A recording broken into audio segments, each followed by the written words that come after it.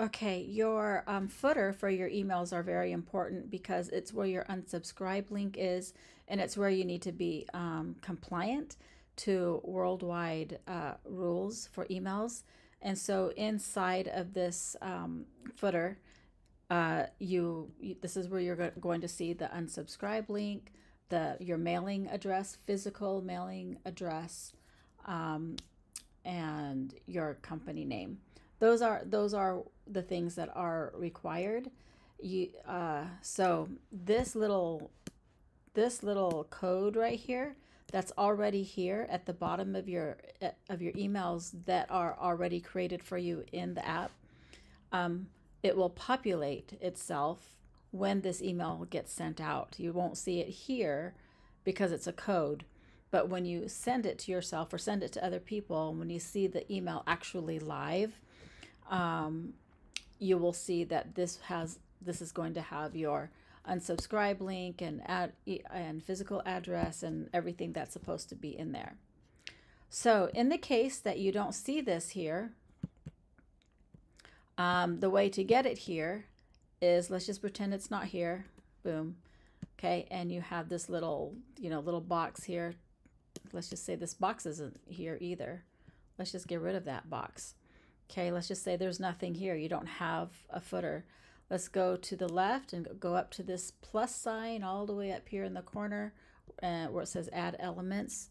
And we're going to just look for a footer and bring in the footer. Okay, so the footer is going to come pre-populated with some information. So the easy and and I could show you how to update this, but really the easiest way and I'm I'm actually going to show you how to update this, but the easiest way is to just get rid of all of that. Boom. And then uh, put in that other little code that already has your information in it. Which the way you do it is you go up to the top, look for where it says custom values. You'll see it when you hover over custom values and then you're going to, going to go all the way scroll to the bottom till you see custom values. And then you click on that and then you have some more choices. And then you're going to choose compliant email footer. And that's it. Then it's done. Your footer is there. And you don't have to do anything more. Everything is already in there. That's compliant. Okay? So that's what you do now. Um, if uh, you I think I showed you you delete everything if you brought that in and you delete everything um, then you just put this in. If for some reason let's just bring that in here again. Let's just bring another footer in here. Okay. If for some reason you want to keep this okay if you want to keep this then you don't need to have see where it says location.email right here? That's that's like the default what they put in here. You don't actually have to have that email address in there. It doesn't whether it's in there or not doesn't matter. It doesn't make it compliant. You can take that out and instead in its place you want to put in you want to go up to custom values and you want to go to all the way to the bottom again and go to custom values. And you want to put in mailing address okay?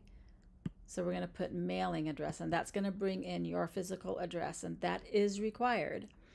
Um, that is required. So that will populate with the e with your mailing address that's attached to your account.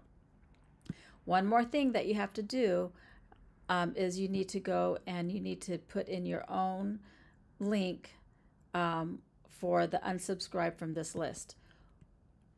When you use that original code, this one right here, it's already in there for you. Okay, so you don't have to do all these things that I'm doing right now. I'm just showing you how to do it, and for some reason you want to do it and you want to keep this. What's nice about this code here is that it's just gonna, it's just one little code. You don't have to change anything ever. It's just make sure it's on the bottom of all your emails. Some people like to make their email bottom of their emails more fancy, maybe put color in here or or whatever. I don't really think it's necessary. But anyway, let me just show you how to put your own unsubscribe link in here, okay? So this is a little bit tricky. You're going to go take your cursor, go to the next line. Okay, see it right here, blinking. Then you're going to go up here and hover over these little icons until you see trigger links. Okay, I'm going to click on trigger links and I'm going to grab the unsubs unsubscribe trigger link. Okay, not code, but link. Okay, and it's going to give you this little trigger link code. You don't choose code, but it gives you a code, okay? So, um, so you grab that, you grab it, cut it, and that's what you're going to use to um, put to link to this these words and subscribe from this list. Go to the top to this link text, and right here there's going to be a code in there already, but it's not your specific code. So you're going to delete it, and you're going to put that code that you just grabbed and save it. Okay, if you want, you can you can turn that blue so it looks like a link. And so just highlight it, go up to the big A with the underline and then just choose blue. Okay, and that's it. So when you when you come across an email that you want a very different footer or, or you see a footer there that you want to keep, then you do need to have your custom values email um, mailing address and you do need to update this unsubscribe. Okay, so um, and I'm going to delete this now because we don't need two footers here. I think it's easier just to use this one. It's already pre-made for you with all your information and your very specific unsubscribe link.